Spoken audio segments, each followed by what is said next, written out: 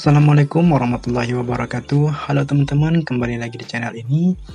Hari ini kita akan berbagi tutorial cara membuat CV atau kurikulum vitae yang menarik di mata para HRD Nah, tutorial kali ini kita akan membuat CV dengan sangat-sangat mudah tanpa teman-teman perlu keahlian atau mahir dalam menggunakan aplikasi atau software desain seperti Photoshop, Illustrator, dan CorelDRAW teman-teman bisa buat CV menarik ini uh, dengan sangat-sangat mudah. Oke teman-teman, sebelum kita masuk ke tutorialnya, buat teman-teman yang belum subscribe channel ini, silahkan klik tombol subscribe di bawah dan aktifkan loncengnya, agar nanti teman-teman bisa dapat notifikasi bila ada video-video terbaru dari channel ini. Oke, jika sudah, langsung aja kita masuk ke tutorialnya. Tapi sebelum itu, saya akan berikan uh, gambaran CV yang akan kita buat uh, pada uh, tutorial kali ini. Teman-teman bisa lihat CV-CV seperti ini. Ini dibuat tanpa Anda bisa tanpa Anda punya keahlian desain seperti ini ya. Sangat-sangat menarik dan simple, tapi cukup sangat jelas gitu ya. Oke teman-teman, langsung aja kita masuk ke tutorialnya. Di sini kita akan menggunakan sebuah aplikasi yang bernama Canva. Nah, aplikasi ini bisa teman-teman gunakan di komputer atau PC, laptop, atau di smartphone karena dia juga uh, tersedia dalam aplikasi di uh, Play Store atau di App Store. Nama aplikasinya Canva. Oke, sekarang kita contohkan di uh, PC atau laptop ya. Teman-teman bisa buka browsernya. Kemudian ketikkan Canva gitu ya, Canva. Nah, teman-teman pilih ini canva.com. Kemudian teman-teman bisa login menggunakan akun Gmail atau akun Facebook kita pilih akun Google. Kita akan login menggunakan Gmail. Kita pilih uh, akun lain. Jadi saya akan coba masukkan email. Ya kemudian next. Kemudian kita masukkan lagi passwordnya password email kita. Kemudian klik next atau enter. Dan tunggu sebentar sampai kita berhasil atau login ke aplikasi Canva ini Oke, kita sekarang sudah berhasil login atau masuk ke Canva ya teman-teman.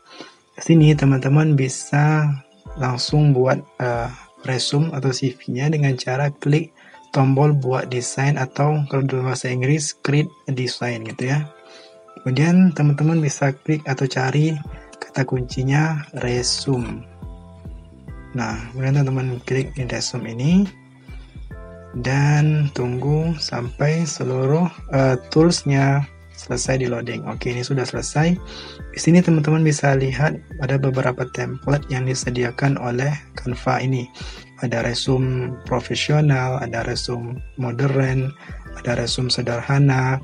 Jadi ada banyak sekali CV-CV yang disediakan oleh mereka dan banyak template. Teman-teman bisa pilih yang mana teman-teman suka dan tinggal diubah dengan profil teman-teman. Oke, saya coba ini ya uh, resume warna-warni yang menarik. Nah, di sini kita sudah pilih, maka dia akan beralih ke uh, halaman ini ya, atau ke layout sebelah sini. Dan ini kita tinggal edit aja lagi teman-teman. Cara mengeditnya juga cukup mudah, teman-teman. Jika ingin mengganti foto dengan foto teman-teman, tinggal di double klik dan ini sudah terseleksi fotonya ya. Seleksi fotonya. Sekarang kita unggah foto kita atau upload ini klik tombol upload di samping. Kemudian teman-teman pilih tombol unggah gambar atau video. Dan silakan dicari foto teman-teman. Kemudian klik open. Tunggu hingga proses upload gambarnya selesai. Ini sedang proses download. Oke sini sudah selesai ke upload. Dengan teman-teman klik kemudian ditahan atau di drag ke arah yang kita seleksi tadi. Nah, ini teman-teman bisa lihat dia sudah ke arah ke kolom foto tersebut ya. Kita pilih. Nah, ini sudah berhasil keganti dengan foto kita. Cara menyesuaikan atau meng, ini kan agak ke atas ya. Jadi kepala kita agak tutup. Cara ke bawahnya double klik kembali. Kemudian ini sudah berganti kursornya. Kita klik tahan dan tarik ke bawah. Nah, seperti ini. Sini sudah ke bawah. Kemudian kita klik tombol selesai. Oke, ini sudah sudah sesuai ya, sudah pas gitu ya. Gambar kita sudah nampak. Sekarang kita mau mengganti namanya dengan nama kita tentunya. Caranya, teman-teman klik ini sudah double klik aja di bagian nama tersebut. Kemudian di blok, tinggal ganti dengan nama teman-teman. Oke, gitu ya. Tinggal ganti teman-teman mau mengecilkan fontnya tinggal di sebelah sini ada angka font. Kita kecilkan jadi 32 nah ini sudah terganti ya. Ingin mengganti nama ini teman-teman ingin besarnya sedikit supaya nampak gitu ya. Teman-teman bisa ganti lagi bawahnya tinggal di klik double klik aja dan di blok jadi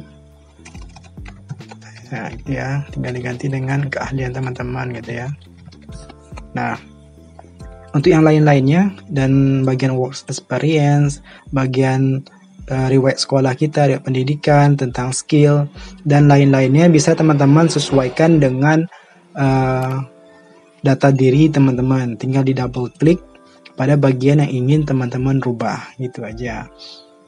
Oke, teman-teman bisa lihat di sini jika teman-teman klik maka akan ada tools-tools yang aktif. Di sini ada untuk rata kiri atau rata tengah, mau di bold atau mau dibuat daftar atau list. Sini sudah kesedia semuanya. Nah, teman-teman ingin mengganti warna warna ini, warna icon-icon ini bisa diklik aja di bagian icon tersebut atau di bagian uh, layout tersebut. Maka dia akan aktif warna di sini. Ingin teman-teman klik, kemudian teman-teman ganti dengan warna yang ingin teman-teman sukai gitu ya ingin ganti ini klik aja seleksi. Kemudian ini muncul lagi tinggal diganti ya dengan warna yang teman-teman suka. Ini kita ganti ya bisa ganti seperti ini. Oke seperti ini. Nah maka dia akan keganti ya. Oke kita ganti. Seperti ini. Nah sangat-sangat mudah teman-teman jadi teman-teman nggak harus ahli dalam ngedesain atau menggunakan tools-tools desain lainnya. Sekarang teman-teman bisa buat uh, eh, CV seperti ini di PC atau di bahkan di smartphone teman-teman karena dia sudah tersedia juga aplikasi uh, Canva ini di Play Store dan di App Store. Nah, sekarang ini setelah teman-teman edit dan selesai membuat CV ini, teman-teman bisa download eh, CV ini dalam format PDF atau JPEG atau PNG. Klik tombol di sudut kanan atas ini, kemudian klik uh, menu unduh, kemudian pilih di sini jenis file, JPEG, PDF standar, atau yang disarankan. Boleh pilih yang disarankan ini, kemudian teman-teman pilih tombol unduh. Nah, maka dia akan menyiapkan desain kita dan mengunduhnya. Nah, ini teman-teman bisa lihat di bawah desain kita sudah berhasil ke download. Nah, teman-teman bisa lihat eh, CV kita sudah berhasil kebuat. Di mana sangat mudah sekali teman-teman, tanpa harus punya keahlian desain, kita sudah bisa membuat CV yang sangat-sangat menarik dan enak dipandang di mata. Oke teman-teman, demikian tutorial cara membuat CV dengan sangat mudah. Uh, semoga teman-teman suka dengan tutorial ini. Jangan lupa untuk like, komen, dan subscribe channel ini. Dan jangan lupa untuk share juga. Terima kasih, sampai jumpa di video tutorial lainnya.